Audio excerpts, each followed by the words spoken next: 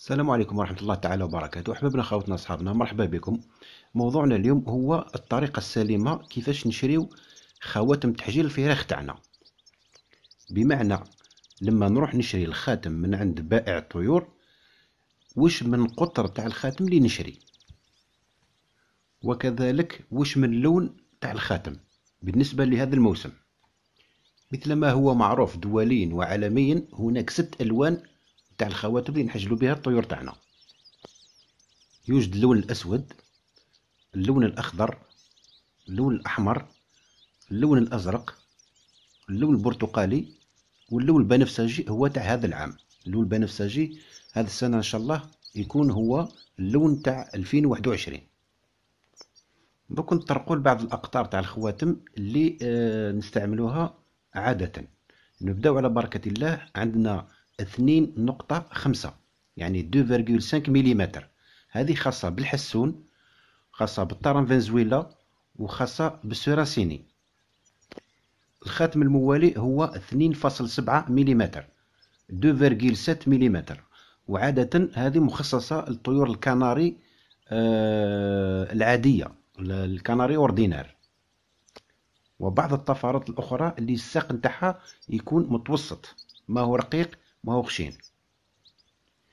الخاتم الثالث والأخير هو ثلاثة نقطة صفر مليمتر trois virgule zéro مليمتر. هذا النوع تاع الخواتم مخصص للطفرات الكناري اللي عندها. الساق تاع الأرجل تاعها خشين ولا طفرات الحسون لأن الساق تاعها يجي خشين. مثل طفرة الإيزابيل الأغات الموزايك الأوبال يعني تقريبا جل الطفرات تاع الكناري ولا تاع الحسون الأخرى. نستعملوا لها 3.0 ملم لازم على المربي الاختيار السليم للخاتم اللي يناسب الرجل ولا الساق نتاع الطائر تاعو. باش ما يطيحش في ما يطيحش في مشاكل. من بعد إنه الخاتم يكون ضيق على القدم تاع الطائر تاعو وهنا مشكلة كبيرة. ثم راح يمرض الطائر ويحتم عليه إنه تتقطع الرجل تاعو.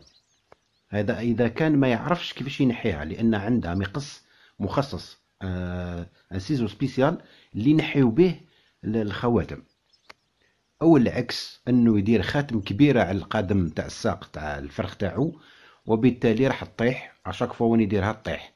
يعني آه حتى وإن دارها في يوم متأخر par exemple في اليوم العاشر ولا 11 تكون كبيرة على القدم وبالتالي الأنثى تقدر تنزعها ولا تقدر تكسر رجل تاع الفرخ نتاعها. وفي الأخير خوتي ننصحكم ما فيهاش عيب الواحد يسقسي يسأل الناس اللي تعرف. كي يروح يشري قال أنا عندي كذا عندي كذا عندي كذا وشنو الخاتم اللي لازم يطيح عليه؟ هذا مكان باش نتفاداو المشاكل وما نطيحوا حتى في إشكالية بإذن الله. تهلاو في رواحكم والسلام عليكم ورحمة الله تعالى وبركاته.